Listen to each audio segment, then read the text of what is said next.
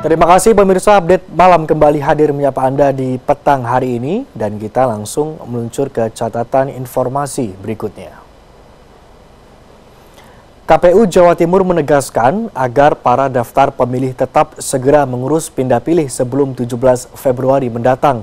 KPU Jawa Timur juga mendirikan 8.497 posko pindah pilih di seluruh kelurahan dan pondok pesantren di Jawa Timur. Meski begitu, untuk lingkungan kampus belum ada permintaan khusus pada KPU Jawa Timur untuk didirikan posko pindah pilih. Jelang dilaksanakannya pemilu pada 17 April mendatang, Komisi Pemilihan Umum Jawa Timur secara tegas membatasi daftar pemilihan tetap untuk segera mengurus pindah pilih sebelum tanggal 17 Februari mendatang.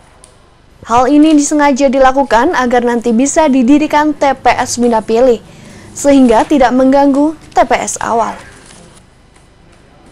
KPU Jatim juga telah menyediakan sebanyak 8.497 posko pindah pilih di setiap kelurahan dan juga di pondok pesantren. Di seluruh Jawa Timur, mulai dari Gontor, Salafia, Wali Wongso, hingga Sidogiri. Pasalnya, para santri pondok dinilai tak punya keleluasaan untuk mengurus pindah pilih, sehingga harus didirikan posko.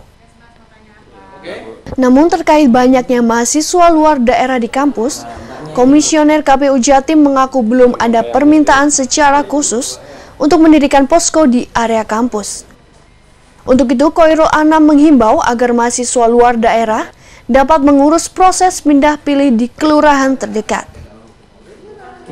Ya, eh, jadi sesuai dengan peraturan KPU nomor 37 terkait pendataan dan pemutakhiran data pemilih, bahwa kami Komisi Pemilihan Umum memfasilitasi maupun melayani bagi para pemilih yang dalam kondisi khusus mereka tidak bisa menggunakan hak pilihnya di TPS sesuai dia terdaftar.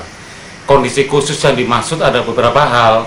Jadi yang pertama misalkan eh, sedang belajar atau sedang menjadi santri di pondok pesantren atau menjadi mahasiswa atau juga eh, bekerja di luar domisili atau juga yang bersangkutan sedang e, dilakukan proses penahanan menjadi narapidana di lembaga permasyarakatan ataupun di lapas-lapas atau juga dalam kondisi terkena bencana.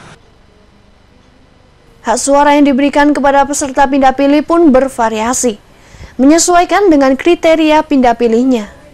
Misalnya antar kota atau kabupaten, maka hanya bisa mencoblos DPD dan Capres, Cawapres. Sedangkan jika pindah ke provinsi lain, maka hanya bisa mencoblos Capres dan Cawapres saja.